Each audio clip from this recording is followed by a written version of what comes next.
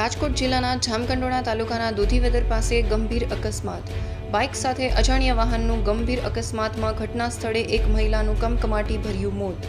તેમની સાથે રહેલ બાળકને ગંભીર ઈજા થતાં એકસો આઠ દ્વારા જામકંડોળા હોસ્પિટલ ખાતે ખસેડાયો. મૃતક મહિલાની ઉંમર પિસ્તાલીસ વર્ષના અને ભાદાજાળિયાના વતની હોવાનું જણાયું છે. તેમને પીએમ માટે જામકંડોળા સરકારી હોસ્પિટલમાં ખસેડવામાં આવેલ.